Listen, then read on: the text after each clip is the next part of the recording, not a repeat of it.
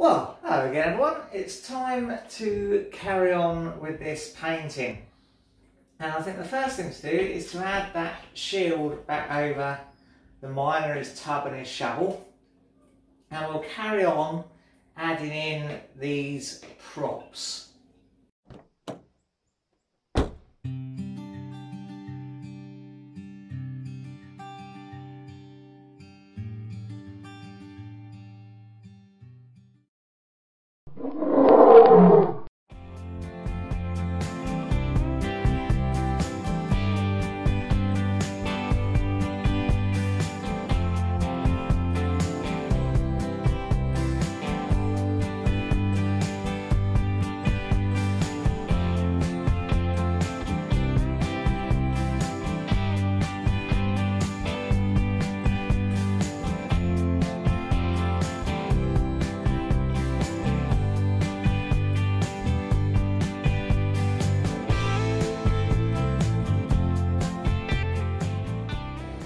No, I think that's the body of the main sort of archway prop um, arrangement.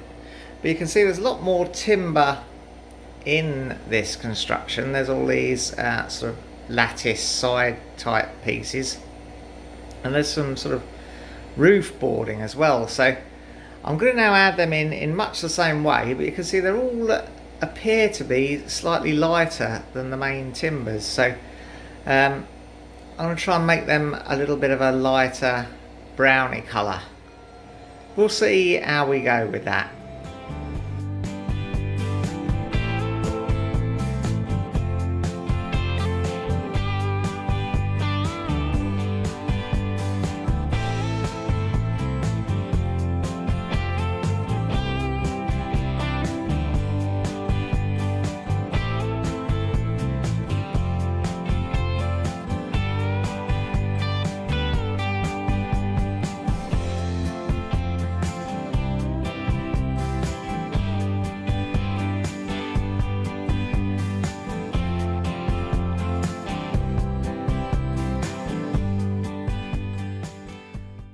Well I think uh, I'm there or thereabouts with the background. Now you can see my painting is nowhere near as brown and ready as the reference, but uh, I don't mind that so much. Mine looks a bit darker and uh, I think it's perhaps, I mean this photo would have been taken probably with quite a powerful light.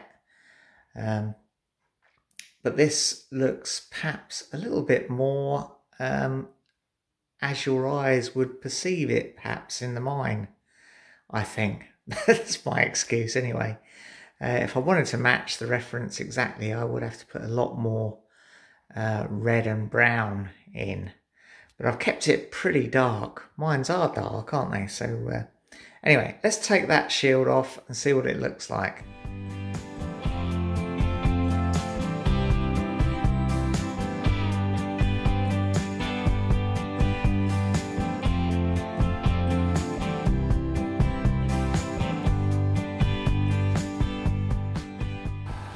I'm just going to go and soften some of the edges just a little bit with uh, some black.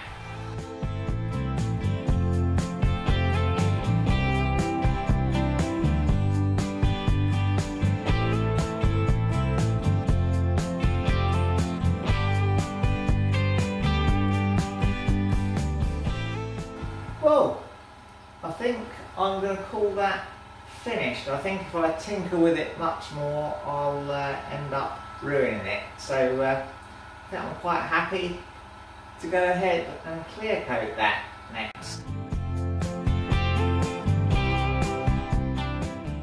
It's Saturday and it's reasonably mild, so I'm going to give this uh, a wipe with a tack rag and then we'll uh, clear coat the front.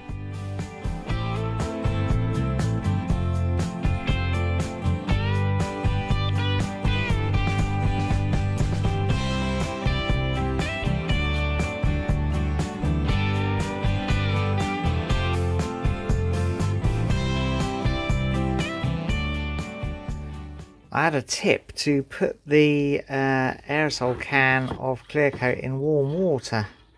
So uh, yeah, this is just warm water from the warm tap. Um, maybe it could have been a bit fuller, but uh, yeah, we'll see if that uh, helps things along a bit.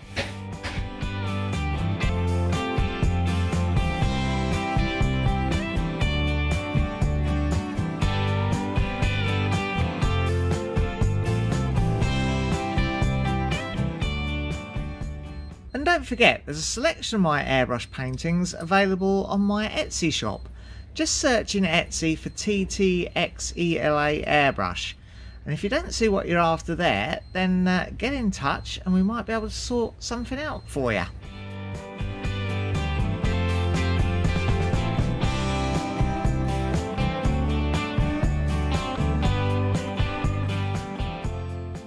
Well, let that dry for a while uh, before we uh, touch it. It'll need at least 24 hours to harden up before we can flip it over and do the back anyway. But I'll let it dry for a while and then I'll take it inside to cure for the rest of the uh, 24 hours. Well, it's uh, Sunday afternoon now and uh, I think we can put a coat of clear on the back of this now. But before I do, I just wanted to point out I've had a couple of comments from ex coal miners in uh, part two of this uh, little project, and they're saying that a real coal miner would never put his hands over the edge of the tub like that because uh, if anything happened, uh, things fall from the ceiling such like, then uh, obviously it would uh, easily injure the fingers. So they push with the flat of the hands on the back of the tub. Right, let's flip it over and put some clear on the back. Should we do that, boy? Righto.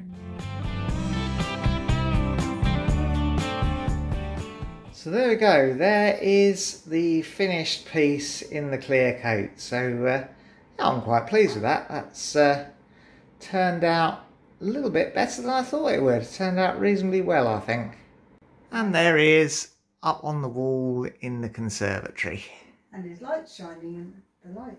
Yeah, his light's shining in the light, as It's you say. reflecting. Yes. Actually, you know, now that's hanging there and uh, it's dark outside and the light is shining on it, you can see this sort of bloom effect in the clear coat, which I'm not really liking at all. And if you come down at more of an angle, you can see uh,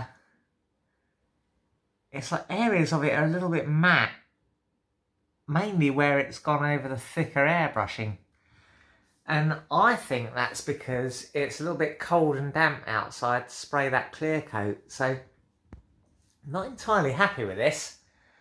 I think I'm going to have to uh, take it somewhere warm and uh, give it another going over with the clear. Right, well I bought this to work and it's reasonably nice and warm and dry in here. And what I'm going to do is I'm going to try and coat over again in that uh, spray can clear. There is a risk to this. Obviously we've had that crazing before where we've let the clear dry too long between coats. Now this is cured for 24 hours. Um, you can see, I don't know if it comes across on the camera very well, but certain areas like his shirt have a different feel to the um, skip, which has a different feel to the sort of more or less uncoated, or where the airbrushing hasn't gone on the base coat. So I think we just haven't buried this deep enough, really, uh, in the clear. That's my thinking. So anyway, I'm going to go ahead and try and coat this up uh, a bit better.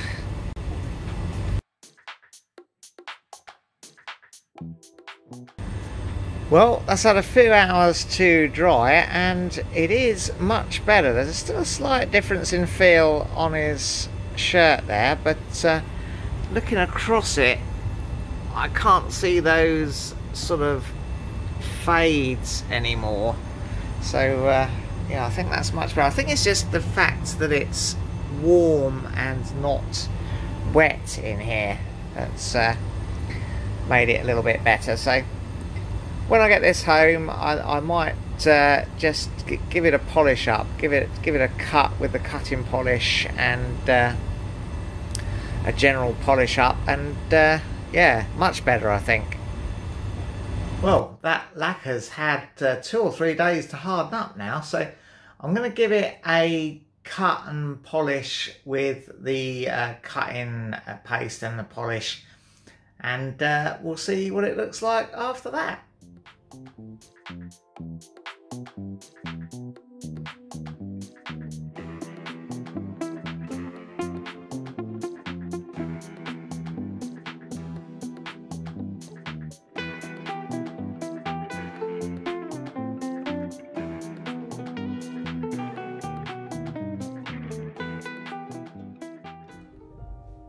That's all for now. If you enjoyed it, press like. Subscribe if you want to see some more. And ring the bell to be notified when we upload something new.